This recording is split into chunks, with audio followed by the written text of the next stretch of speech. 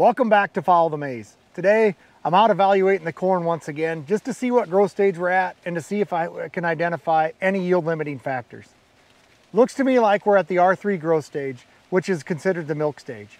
At this stage of the corn plant's life, we can still abort some of those kernels on the tip of the cob, so I'm hoping that we can minimize any stress from here going forward so we can maximize our yield potential. At R3, our kernels are showing up pretty yellow. They have a milky fluid inside of them.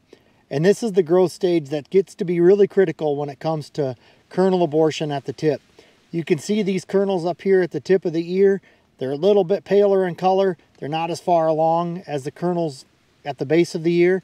Because remember, when we pollinate these ears, we started with silks at the base of the cob all the way to the tip. These kernels up here are very subject to being aborted if we endure any long-term stress.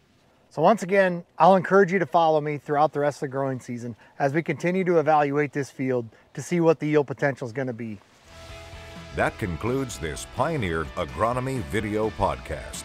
Visit our page on pioneer.com and follow us on Twitter and Facebook for more agronomy insights.